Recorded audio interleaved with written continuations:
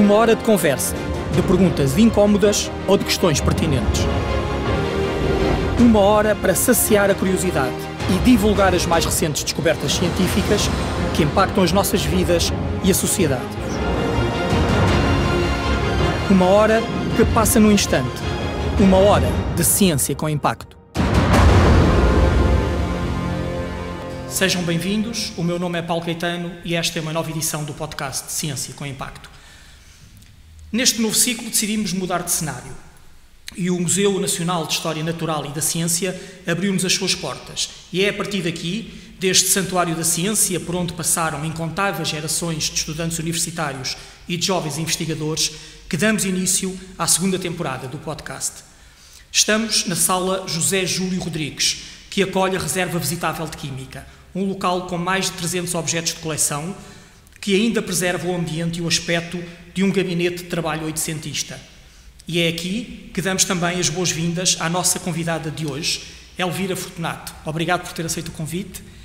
Elvira Fortunato hum, uh, quase que merecia, uh, quase que dispensava uh, apresentações. É de longe a cientista mais portuguesa, mais reconhecida entre nós e no estrangeiro. Mas, para os mais distraídos, vamos deixar aqui um, um breve resumo. Elvira é engenheira, obteve a sua licenciatura em Engenharia Física de Materiais na, na, Faculdade de Ciências e Tecnologia da Universidade Nova de Lisboa, local onde também fez o seu mestrado e o seu doutoramento. Tem mais de 500 artigos publicados, é diretora do Centro de Investigação de Materiais e do Instituto de Nanoestruturas, eh, Nanofabricação e Nanomodelação. Correto. E é vice-presidente, é vice-reitora, peço desculpa, da Universidade Nova de Lisboa. Elvira, mais uma vez obrigado por ter aceito este convite e se calhar íamos começar a nossa conversa aqui neste podcast por um dos seus projetos, o Invisible, que ganhou este ano um prestigiado prémio internacional, o Horizon Impact Award. O objetivo deste projeto é criar um novo tipo de componente de eletrónica transparente. E entre as várias inovações ou ambições deste seu projeto hum, está o uso de semicondutores eco-friendly. Mas não só. O objetivo é também criar uma tecnologia sustentável de baixo consumo energético e que permita a reciclagem de todo o sistema. Aliás, tanto quanto sei, é um projeto que está alinhado com o Green Deal europeu e agora consegue-me desconstruir tudo isto que eu acabei de dizer e tentar explicar-nos, como se nós não fôssemos de todo físicos, que não somos, que, que, que, que revolução tecnológica é esta em que está envolvida. Uh, ok, uh, vou tentar desconstruir. Uh, em primeiro lugar, queria agradecer o convite que me foi feito. É com imenso prazer que estou aqui neste local, que, como foi dito, é um santuário, é um Sim. local mágico, portanto, há aqui magia à nossa volta e, e, podemos até sair daqui mais inspirados do que aquilo, do, do que quando cá, para cá entramos. Relativamente a este projeto Invisible, eh, isto foi um projeto que eu, eh, a que eu me candidatei já em 2008 para o European Research Council, das eh, famosas bolsas ERC, e, portanto, muito antes até do Green Deal, uhum. muito antes dos, da sustentabilidade que está agora em cima da mesa com os objetivos lançados pelas Nações Unidas. E basicamente aquilo que nós pretendíamos e pretendemos ainda, porque é evidente que isto não, não se esgota, esta área não se esgotou neste, claro. neste projeto, é a utilização de materiais, como disse, materiais sustentáveis, materiais eh, não tóxicos, materiais eh, que existem em abundância e tentar usar esses materiais como semicondutores, ou seja, em vez do silício. Basicamente, a, a, grande vantagem destes materiais, que posso desde já dizer são materiais que eventualmente estão aqui à nossa volta também, são óxidos metálicos. Uhum. Eh, um dos mais conhecidos é o óxido de zinco. E o óxido de zinco é um material que é usado em variedíssimas aplicações, desde os cremes do Hollywood, okay. ele é biocompatível, é um excelente cicatrizante, desde eh, nos, nos, próprios protetores solares, porque funciona como filtro à radiação ultravioleta, na área da cosmética, eh, na área das tintas. Aliás, eh, pensa-se que a primeira vez que o óxido de zinco foi utilizado foi até não foi pelos chineses okay, como quase no como como um pigmento uhum. de tinta porque ele é, porque ele é branco. Portanto é um material que é muito usado em, em variedíssimas aplicações. E nós usamos esse material para fazer transistores, ou seja, para fazer materiais da eletrónica. Toda a eletrónica, um circuito integrado, um transistor, Sim. aquilo que seja, tem que ter materiais para, para o seu fabrico. Geralmente eu costumo dizer que nós necessitamos de ter três materiais: materiais condutores, materiais semicondutores e materiais isolantes.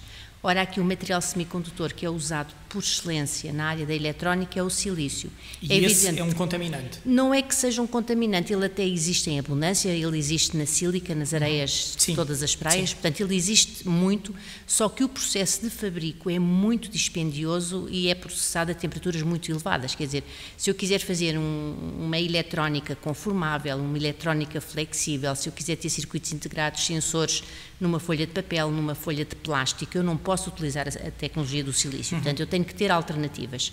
Ora, estes óxidos metálicos que, que nós usamos são exatamente materiais alternativos.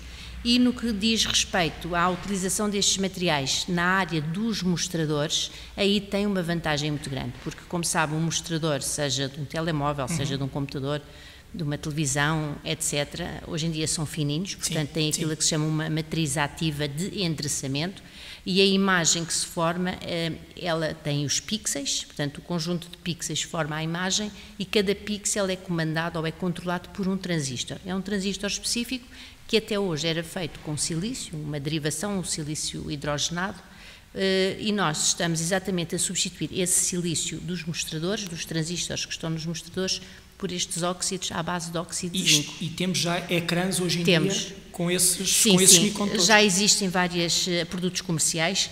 Um ecrã geralmente é um componente que está embebido num determinado, numa marca de telemóvel, não quer dizer que o ecrã seja feito Sim. pela marca que faz o telemóvel, aliás, como os circuitos integrados que, que, estão lá dentro, mas as primeiras aplicações comerciais destes materiais na parte dos mostradores foram em telemóveis, eh, foi, foi, nos iPads, em algumas marcas de computadores portáteis, também em jogos, por exemplo, da Nintendo e já em alguns eh, eh televisores, aqueles que são curvos.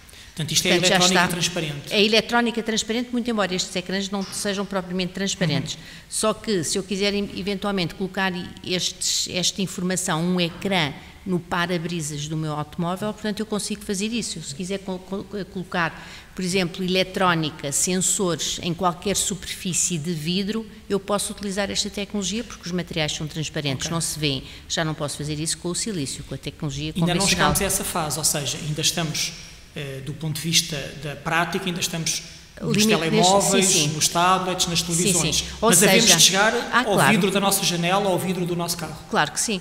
Aliás, estamos limite neste momento, não é, é, que seja uma limitação, mas eh, uma vez que a tecnologia é muito mais barata, esta tecnologia não é poluente. Uhum. E por outro lado, estes materiais têm um desempenho elétrico superior aos convencionais, daí que num espaço tão pequenino de tempo a indústria tenha logo absorvido a investigação, parte do conhecimento que estava a ser feito nesta área na, nas universidades.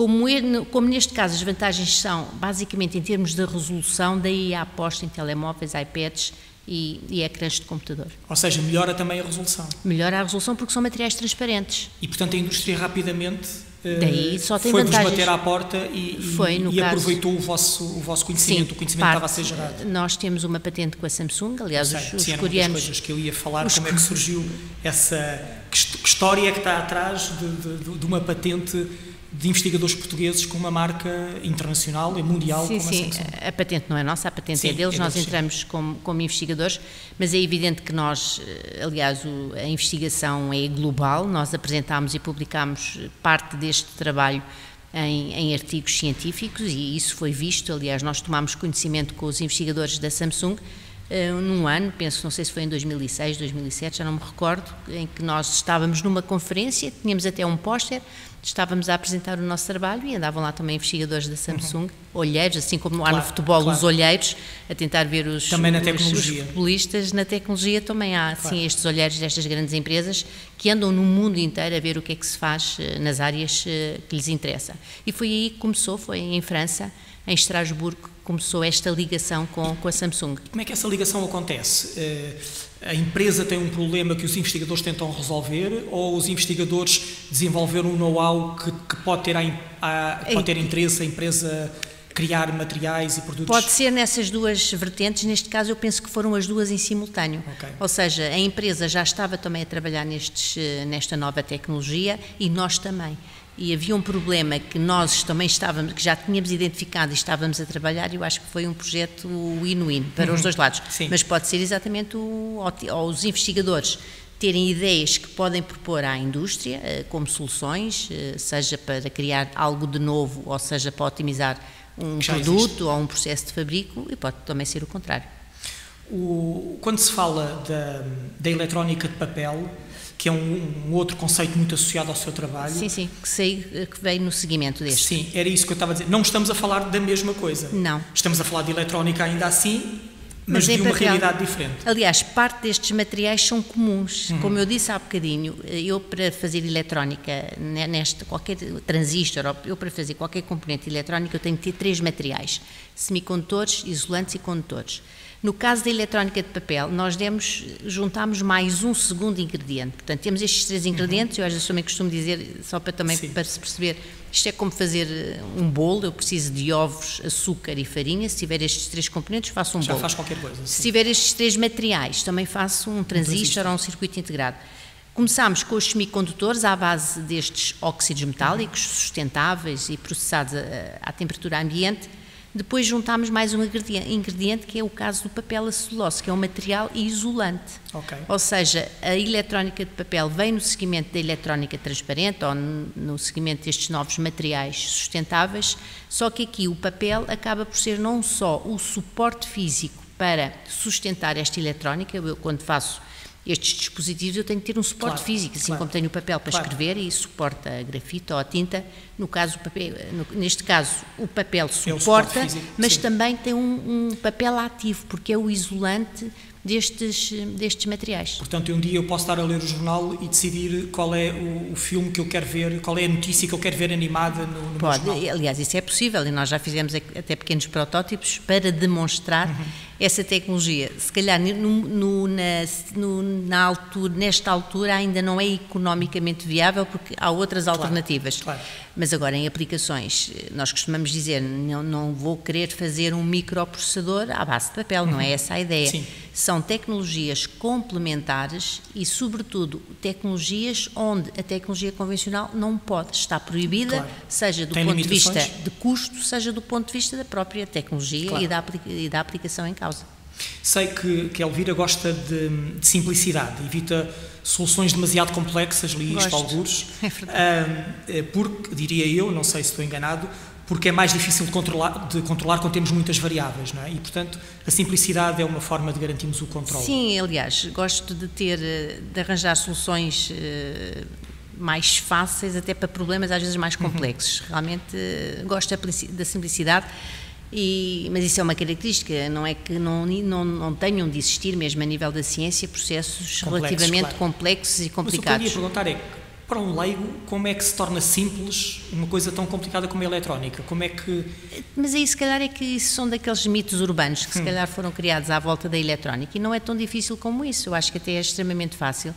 Eu costumo dizer que nesta área a eletrónica até é fascinante, é, é elegante a forma como nós podemos controlar os eletrões, uhum num, num determinado dispositivo é, é fácil, é, não é intuitiva, mas não é, uma, não é, não é difícil. Eu Sim. penso que é como a matemática, quer dizer, tem que se aprender e saber um bocadinho de física, e eu penso que depois de se saber, Uh, é relativamente fácil, não é complicado. Então, uh, deixe-me falar, deixe-me centrar agora um pouco, um pouco em si no, e, no, e no seu percurso. Sei que fez um doutoramento, um, eh, um projeto de doutoramento que estava ligado à defesa. Um, ah, já há muitos anos. Já há muitos anos. Uh, algo relacionado com tiro a laser e detectores eletrónicos. É verdade. Como é que foi essa experiência de trabalho com os militares? Correu bem? Uh, correu, aliás, isso foi a base do meu doutoramento. Uhum. Aliás, eu, como disse inicialmente, eu, eu sou engenheira Sim. de base e gosto de fazer coisas. Eh, tenho uma. Muito embora hoje em dia eu acho, na minha, na minha opinião, que aquela distinção que se fazia ou a divisão entre ciência mais fundamental e ciência mais, mais aplicada, prática. eu acho que hoje em dia as duas estão muito misturadas. Eu na minha acho que a própria ciência evoluiu uhum. e não temos estas duas divisões tão acentuadas. Elas sim. acabam mesmo a fundamental, eh, de certeza que está a fazer qualquer coisa para, um, para, para, uma, qualquer, para algo mais aplicado. Esse projeto com os militares na área da defesa surgiu exatamente pelo, na, na, área em que eu estava a, a, a tentar, ou que estava a pensar num tema para fazer o meu doutoramento e aquilo que eu queria na altura era que o meu doutoramento tivesse alguma utilidade. Que, ok, podia fazer um doutoramento com, do ponto de vista científico muito bom, com artigos publicados, mas isso não é reconhecido. Queria... Mas, exatamente, eu queria fazer qualquer coisa que de alguma forma pudesse ser útil à sociedade. Uhum. Na altura nós tínhamos uma empresa ali ao pé no Lazarim, a cerca de 5 km da, da Faculdade de Ciência e Tecnologia, de uma, uma, uma indústria da área da defesa, eu fui lá falar com eles, não os conhecia, e fui exatamente mostrar aquilo que nós fazíamos no laboratório e até que ponto aquilo em que estávamos a trabalhar podia ser útil ou se eles tinham alguma coisa que encaixasse nas nossas áreas. E realmente e tinham. E tinham, tinham estavam a desenvolver uns sensores de posição, que na altura aquilo eram, eram usados nos arneses uhum. dos, dos militares, eh, em que quando se fazia o teste do tiro, eh, em vez de se dispararem balas, disparavam laser. lasers, portanto, tiros eh, na forma de laser, e os, eh, portanto, os militares tinham esses fotodiodos dispostos no capacete, nos coletes, portanto, em várias zonas do corpo, e podia-se ver se acertava ou não, etc. Mas aquilo que eles precisavam, em vez de ter estes fotodiodos discretos, eles queriam ter um sistema, tipo uma, uma mira de laser, portanto, uhum. um alvo. Eles queriam Sim. ter um alvo dinâmico, em que o soldado podia apontar e automaticamente eu tinha o raio laser e a própria superfície do alvo era uma, era uma superfície okay. fotossensível, era um fotodiodo gigante. Ora, nós trabalhávamos na altura com estes materiais e foi possível desenvolver um sensor de posição de grande área, que até também na altura ganhou vários, eh, vários prémios, eu terminei o meu doutoramento em, em 91, tivemos vários prémios e até projetos, tivemos nessa altura um projeto grande, Portanto, financiado... Teve seguimento, teve, teve um seguimento. Teve, no seguimento disso, tivemos um projeto até financiado pela NATO e um projeto na altura até volumoso em uhum. termos de, de, orçamento, que nos possibilitou equipar uma série e comprar equipamentos para o laboratório. E fiquei muito contente porque consegui fazer qualquer coisa que acabou por ter utilidade na. E que não se esgotou ali, ainda por E que não se esgotou não ali. Não se esgotou ali, teve, teve um, sim, teve um seguimento. Uh, Elvira é diretora do Centro de Investigação, de um centro de investigação e de um instituto. Uh, estes dois centros trabalham em áreas opostas. Qual é a vocação de cada um deles e que tipo de projetos é que, é que cada um deles tem entre mãos? Eh, eu sou diretora do Centro de Investigação de Materiais, que é uma unidade de investigação da Faculdade de Ciência e Tecnologia e que já em 2006 se associou a uma unidade de investigação da área da física da Universidade de Aveiro. Portanto, estes dois centros juntaram-se uhum. e fizeram aquilo que se chama um laboratório associado. Nós somos o laboratório associado, o I3N, aliás, estamos neste momento em em fase de, de avaliação, eh, foi feito um reset a nível, a nível nacional. E basicamente estes dois centros, nós formamos este, este instituto, mas não somos, eh, não fazemos a mesma coisa, somos complementares. Okay. Nós somos mais da área de materiais, aqui embaixo na, na Caparica, eles são e mais da área da física e basicamente aquilo é que complementamos-nos em termos de, de, atividades. Eles são muito fortes, por exemplo, na área da, da modelação, da simulação, e mais na área, na área da física e nós mais nas áreas de, dos materiais e nas aplicações. Portanto, acho que fazemos um match. É isso que eu ia perguntar, há um diálogo permanente entre... Há um diálogo permanente entre, entre nós. projetos de um sim, e do sim, outro sim, sim, inclusivamente neste momento tivemos até no âmbito do financiamento das unidades de investigação, para além do financiamento plurianual que tivemos, foi-nos concedido um pacote de bolsas de doutoramento e, por exemplo, uma das coisas que nós uh, formalizámos foi que cada aluno de doutoramento tem que ter, um tem que ter dois orientadores, um de cada polo, Sim. e estar lá e cá, exatamente de forma a que haja esta, entrosamento. Este, este, entrosamento de, de, e, e, que se possam fortalecer os laços eh, entre os dois institutos. E lhe perguntar, eh, é uma pergunta que eu acho que já lhe devem ter feito muitas vezes.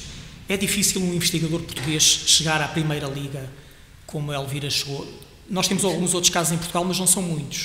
Uh, isto tem a ver com, com, o facto de estarmos aqui neste canto da Europa afastados do centro de investigação, da falta de meios, uh, porque depois, uh, de vez em quando, vimos, vimos isso, vimos, vimos alguns investigadores de facto ascenderem à primeira liga da investigação, da inovação, como é que é esse processo aqui em Portugal? É... Nós, pronto, nós podíamos estar mais à frente ainda, não estamos. É evidente que temos uma, só muito recentemente, uh, não temos ainda muitos anos de, de democracia. Uhum. não nos podemos esquecer que vivemos num período de ditadura e isso fez com que Portugal ficasse atrasado em muitas áreas, inclusivamente a área a área científica. Eu penso que demos passos muito grandes uh, nestes nos anos uhum. que se seguiram. 40 anos. Agora, aquilo que ainda faz falta é evidente que isto é, é como tudo, nós não podemos fazer omeletes sem ovos. Uh, muito embora se tenha apostado muito nos últimos anos na parte do, do emprego científico e na parte de, de formar doutorados, uhum. ainda se investe pouco na área da ciência. Aquilo que se investe ainda não chega é evidente que nós eh, temos, eu costumo dizer isso também, nós temos que trabalhar sempre muito mais do que até os nossos colegas os espanhóis, outros, aqui mesmo ao lado, porque basicamente temos que ser mais competitivos em termos internacionais. Eh, não são, muito embora as verbas nacionais eh, façam com que haja, no fundo, não se trabalhe debaixo de água, nós quisermos estar na Primeira Liga, temos que ir sempre claro. a projetos internacionais ou projetos europeus. Mas, Mas aquilo falta, que nos falta, eu acho que é mais investimento na ciência. Temos que investir mais e o próprio tecido industrial tem que apostar mais na ciência, não só em trabalhar com as universidades, mas acima de tudo incorporar este conjunto de doutorados que estamos a formar todos os anos e incorporá-los nos seus locais de trabalho, porque senão se, os, se, estes investigadores altamente qualificados ficarem sempre nos seus, no, nas universidades uhum. ou nas unidades de Sim. investigação, elas, eles não são produtivos e, por outro lado, nós estamos a formar em ciclo fechado. Claro. Portanto, eles têm que ir para a indústria, porque só assim é que a indústria também nos conhece e é claro. também um, um, são processos win-win. E acha que em Portugal temos as infraestruturas necessárias para uma boa ciência? Ou Acho... quando fala da necessidade de investimento, está a falar também do ponto de vista infraestrutural? Eh, não, tem, não temos, isso, isso não temos. Eh, neste, eu estou já farta de dizer isso há muitos anos. Há mais de 10 anos que tivemos o, o último grande financiamento, se é que se pode chamar grande financiamento para equipamentos uhum. científicos, infraestruturas, e neste momento é perfeitamente vital. Nós necessitamos de ter novos equipamentos. Há temos toda uma equipamentos, nova geração de equipamentos temos que surgiram, equipamentos que estão demodés, claro. outros que são novos e temos que ter, e isso custa, custa muito dinheiro, não só os equipamentos, como a sua própria manutenção e ter pessoas, ter técnicos alt, altamente qualificados para operar. Eu penso que nesta, neste, neste momento, e em termos de tecnologias, o que nos está a fazer muita falta é exatamente um, um novo investimento na área dos equipamentos. Mas eu espero que agora, até com os novos fundos que vêm aí do, do programa de recuperação e resiliência, eh, que parte, parte desses fundos possam também ser aproveitados para a ciência, porque a ciência agora também tem mostrado que é fundamental até na, no combate Sim, cada vez mais. a, a estas crises. Há pouco disse-me uma coisa que eu achei interessante. Uh, disse-me que uh, nós ainda não estaríamos uh, num patamar científico tão elevado porque também temos poucos anos de democracia. A democracia é essencial para a ciência. Claro, a liberdade é fundamental. A liberdade para um cientista é tudo. Porque tem a ver com a liberdade de poder pensar, de poder pensar coisas diferentes, ou, ou há aqui alguma alguma dinâmica intrínseca à democracia que respeita mais o pensamento científico? A, liberdade não só para o próprio investigador, mas a liberdade também do conhecimento e a liberdade de podermos ter acesso ao conhecimento. Portanto, se não existir democracia, o conhecimento também fica reduzido só para determinadas pessoas. E nesse sentido não a preocupa a situação atual que vivemos no mundo, em que aparentemente eh, não a preocupa a médio e longo prazo eh, o destino da liberdade e da ciência? Eh, eu penso que não. Preocupa-me essas situações que eu penso que são um bocadinho, são pontuais, mas eu penso que a um curto, médio prazo elas vão ser revertidas não acredito que tenham sucesso. Ok. Então, ia-lhe fazer aqui uma outra, ia fazer aqui uma outra pergunta. Sei que para si, uh, porque li, uh, é muito importante uh, deixar um legado, um legado às suas equipas e às gerações claro. vindouras de, de, novos investigadores. E li que, que quer concluir, um dos seus objetivos é concluir um laboratório de referência na área da microscopia e de materiais avançados. Como é que vai esse projeto? O que é que lhe falta para, para alcançar este objetivo? Nós neste momento temos, eh, isso realmente é, é um dos grandes eh, sonhos que temos, que é que é construir, eh, acabar de construir esse, esse grande laboratório, e aí não é só a parte dos equipamentos, mas é também mesmo a construção uhum. física do, de parte do laboratório, Uh, temos parte do financiamento para fazer essa, essa construção e essas aquisições. Está-nos neste momento a faltar alguma, uh, alguma vontade. Vontade política? Vontade política e vontade institucional para que possamos levar uh, a bom porto estas iniciativas. Temos tido alguns, eh, algumas areias na, no caminho. Há muita burocracia para quem trabalha em ciência? Há, ainda há muita burocracia. Eu espero que nestes novos planos, aliás, nós, eu e mais dois colegas, fizemos já há uns meses um trabalho grande na área e apresentámos um relatório a, a três ministros. Foi um trabalho que nos foi incumbido pelo Ministro da Ciência, o Ministro da Economia e o Ministro da, do Planeamento, e nós fizemos exatamente um trabalho, um relatório da forma como se pode simplificar parte dos processos na administração pública. Uh, e isso não custa dinheiro, aliás, poupa dinheiro uhum. porque poupa-nos poupa muito claro. tempo, a nós, à claro. máquina em si, e também é, é e, e, também não nos limita porque em ciência o tempo é fundamental. Eu se não fizer isto hoje ou amanhã há um japonês ou há um americano que vai fazer e portanto nós, o tempo para os investigadores é crucial e a ciência não se pode não pode continuar a debater-se com os, os, investidores têm que fazer ciência têm que fazer projetos têm que estar focados mas, no seu têm mas têm, no têm perdido muito tempo Sim. e isso faz com que não sejamos tão competitivos.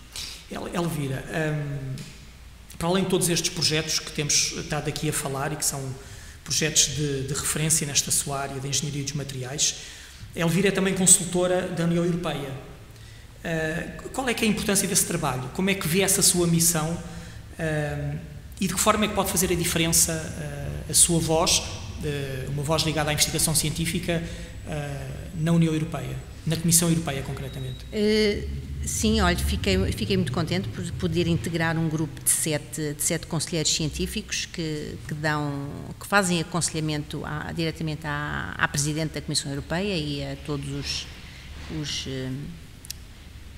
a toda, a toda a Comissão e acho que foi extremamente importante não só para mim, mas também para Portugal, porque estando um português eh, numa mesa de sete, é evidente que a voz de Portugal é claro. é sempre, de alguma forma, é ouvida.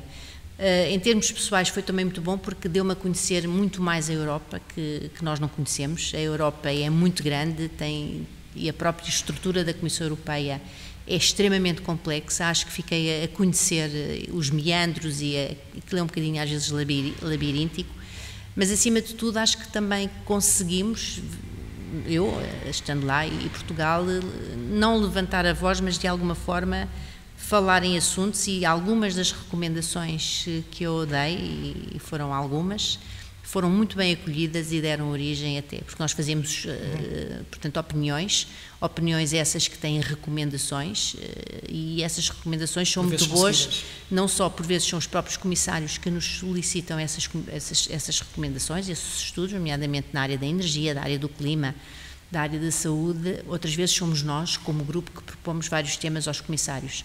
Uh, se fizermos um balanço, têm sido mais vezes, devido até aos problemas que, tem, que temos tido, que, uh, têm sido os comissários que nos pedem eh, estudos específicos e nós, ao fazermos estas recomendações sempre baseadas na evidência científica, uhum. é muito bom e até para os próprios comissários poderem implementar essas novas ou regulamentar que estão fundamentadas, que é? estão fundamentadas claro. na evidência científica. Eu acho que isso é bom para ambos os lados, quer para a ciência em si e por outro lado também é bom para os cientistas porque vem de alguma forma o seu trabalho ter impacto claro. Eh, nas várias ações e nas várias regulamentações que são feitas pela Comissão e, Europeia. E por falar em impacto, ehm, que impacto é que tem no, no, investigador ouvir que o seu nome pode ser, pode ser nomeado para o Prémio Nobel? Ok, isso eu acho que ainda estamos a, estamos a, a, a anos-luz de, de, disso. É acha evidente... mesmo? Acha que. Porque, porque se fala que esta sua área de, de, Sim, mas se calhar terá um impacto, sei lá, ainda é capaz de ser recente, são áreas relativamente recentes.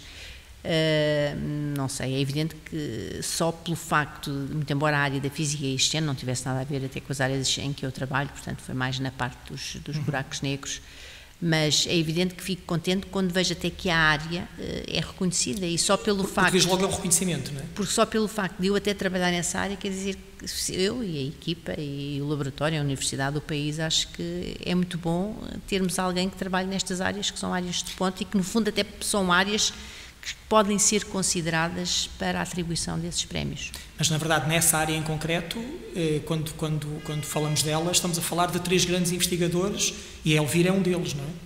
Sim, aliás, tive o prazer e tenho de trabalhar, de trabalhar com, os dois, com, com os dois e foi, foi, muito bom, um americano e um japonês, é verdade. As aplicações são, uma, são um dos seus focos, são uma das suas preocupações.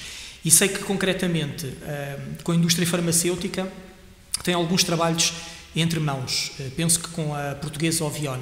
Que tipo de colaboração é esta e, e, e, o que é, e o que é que pode sair daqui, desta colaboração entre a sua equipa e a indústria farmacêutica?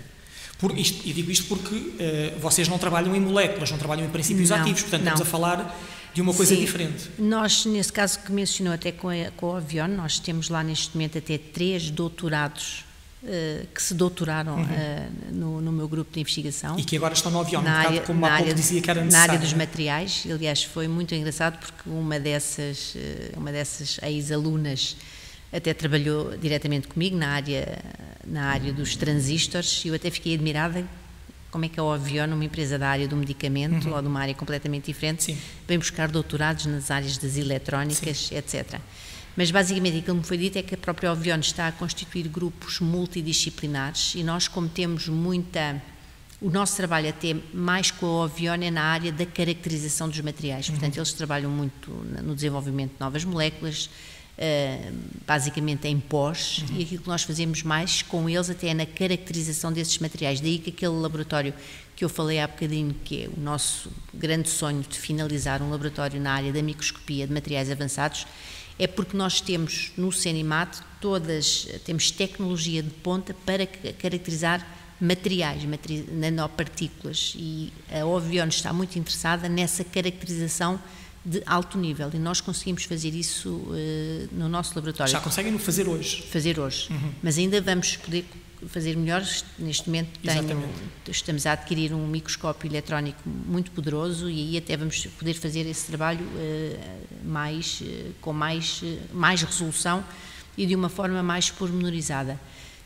Isto é o que temos. Temos neste momento também alunos de doutoramento em portanto, partilhados uhum. entre a Ovione e a, e, a, e a, Universidade Nova de Lisboa, mas sempre nesta vertente de caracterização avançada de materiais, não propriamente, porque nós não somos de base sim, química, sim. Não, não, não, trabalhamos nessa área. Mas hoje em dia, lá está, as, as áreas cruzam-se. Hoje em dia, as áreas, não, de, de, mesmo as várias áreas científicas, não, não, estão, estão, não estão tão estanques como, como antigamente. Hoje em dia, há muita interseção de áreas e é exatamente dessa interseção das várias áreas que surge a inovação. Porque às vezes nós, ao falarmos com. Eu tenho um exemplo muito claro, exatamente na área da, das ciências da vida. Eu trabalho muito com um colega da Faculdade de Ciência e Tecnologia da, das Ciências da Vida e eu nunca iria falar com ele se não tivéssemos até um amigo comum que uma vez foi à universidade dar, fazer uma palestra e encontrámos-nos lá e dessa, dessa conversa, dessa casa e dessa conversa de café surgiu um trabalho lindíssimo entre nós e, e, a parte mais bio, porque aquilo que ele fazia sozinho não era novidade, aquilo que nós uhum. fazíamos uhum. sozinhos também não era novidade, mas, mas juntar as duas claro. coisas acabámos por resolver uma série de problemas que nem eu pensaria que iria nem eu iria pensar que falia, falava tanto de ADN, nem ele ia, ia, ia pensar que falava tanto de, de transistores. E, e, eu sei que essa é uma característica das suas equipas, essas, sim. essa, ah, sim, sim. essa, essa característica pessoas, multidisciplinar. É? Sim, e começou por acaso, não foi na altura intencional, mas realmente hoje em dia eh, nós eh, queremos que e que é uma tendência, na verdade, é uma tendência mundial. É? é? É, é, uma tendência. Temos a área da física, materiais, química, portanto, temos uh, biologia. Que se temos... mescla com, sim, com sim, as ciências sim. da vida ou com as ciências sociais, com a filosofia, se for Também, não temos ainda tanto essa parte das ciências sociais, okay. nem a parte da economia, mas basicamente dentro das ciências uh, privilegiamos ter uma equipa uh, não, só, não com pessoas só de uma área, porque repare, eu agora quero inovar aqui um bocadinho nesta caneca. Se eu tiver só engenheiros de materiais ou só engenheiros químicos, o grau de inovação é relativamente limitado, uhum. porque vamos olhar todos para a caneca com, os, mesmos, mesmos olhos. Os mesmos conceitos. Se eu tiver uma equipa de, com pessoas de várias áreas, vão todos olhar para a caneca de uma forma uhum. diferente e é dessas discussões claro. que podem surgir eh, claro. ideias uh, brilhantes. Que nasce a ciência, não é? Que nasce a ciência. Há pouco, quando, quando a apresentei, eh, disse que era diretora do, do Instituto de Nanoestruturas, Nanomodelação e Nanofabricação. Os materiais nano uh, Hoje em dia também é uma tendência muito grande, há um, há um, há um uso, uma aplicabilidade cada vez maior de materiais nano. Exatamente. Em que é que vocês estão a trabalhar concretamente?